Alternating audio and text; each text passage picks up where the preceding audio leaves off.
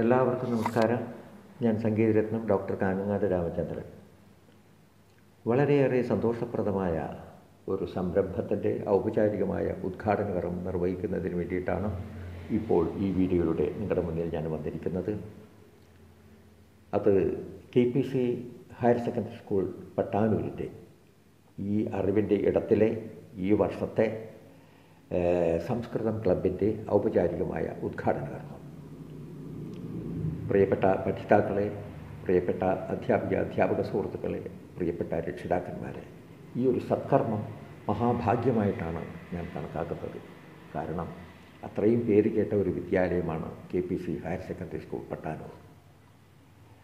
എത്രയോ കലാവാസനകളുള്ള കുട്ടികളെ കണ്ടെത്തി അവരെ പ്രോത്സാഹിപ്പിച്ചും കൊണ്ട് പരിപോഷിപ്പിച്ചെടുത്തും കൊണ്ട് ജനഹൃദയങ്ങളിൽ ഇടം നേടിക്കൊടുക്കുന്ന ഏറ്റവും വലിയൊരു പ്രസ്ഥാനമാണ് വിദ്യാലയം. നമുക്കറിയാം ഇവിടുത്തെ അധ്യാപക സമൂഹവും എല്ലാവരുടെയും ഒരു സം എന്താ പറയുക സമാന ചിന്താഗതികളോടെ സഹകരിക്കുന്ന പ്രവർത്തിക്കുന്ന അധ്യാപക സമൂഹത്തിന്റെ ഏറ്റവും വലിയൊരു നേട്ടമാണ് ഈ വിദ്യാലയത്തിന്റെ പേരും പെരുമയും. ഒരുപാട് ഒരുപാട് സന്തോഷമുണ്ട് ഈ ഒരു കർമ്മം എന്നെ ഏൽപ്പിച്ചിരിക്കുന്നത്. അവിടുത്തെ സംസ്കൃതം അധ്യാപികയായ സുമിത്ര ടീച്ചറാണ്. ടീച്ചറിനെ എനിക്ക് നേരിട്ട് പരിചയമില്ല. പക്ഷേ ശ്രേഷ്ഠ ഭാരതം എന്ന പരിപാടിയിലൂടെ പല ചാനലുകളിലും ഞാൻ ടീച്ചറെ ഞാൻ കണ്ടിട്ടുണ്ട്. അത്രയേ അറിയുള്ളൂ.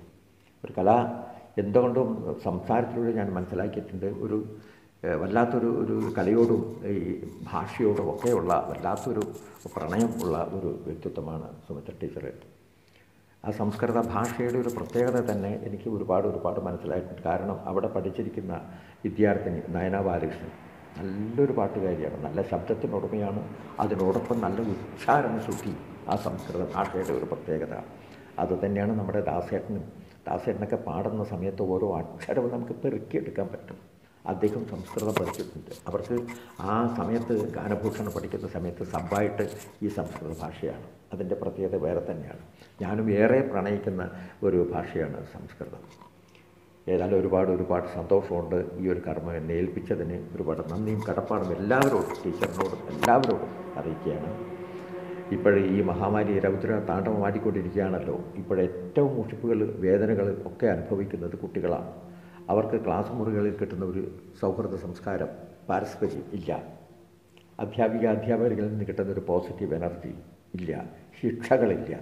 പണ്ട് കാലത്തൊക്കെ നമ്മൾ സ്കൂൾ പഠിക്കുന്ന സമയത്ത് ക്ലാസ്സിൽ എത്താൻ അല്പം വൈകിപ്പോയാൽ ഒന്നിക്കൽ ക്ലാസ്സിന് പുറത്താക്കും അല്ലെങ്കിൽ അടിക്കും.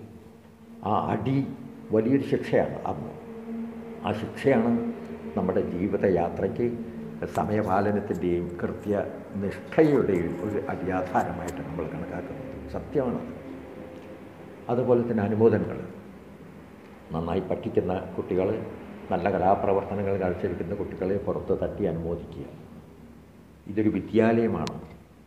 ഈ വിദ്യ എന്ന് പറയുന്നത് തന്നെ സ്വാമി വിവേകാനന്ദജി പറഞ്ഞതുപോലെ അറിവിന്റെ മാറ്റുരച്ച് കാണിക്കുന്ന അർത്ഥപൂർണമായിരിക്കുന്ന സൂക്തമാണ് വിദ്യ.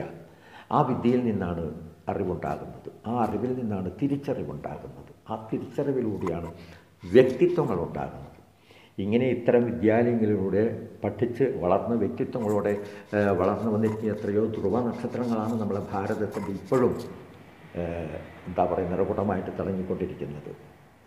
നമ്മുടെ മഹാത്മാഗാന്ധിജി അതുപോലെ തന്നെ ഗോപാലകൃഷ്ണ ഗോഖലെ ബാലഗംഗാധര തിലകൻ ഡോക്ടർ രാജേന്ദ്ര പ്രസാദിനെ പോലുള്ള മഹാനുഭാവന്മാർ വ്യക്തിത്വങ്ങളുടെ ഏറ്റവും വലിയ പ്രതീകങ്ങളാണ് അവരൊക്കെ.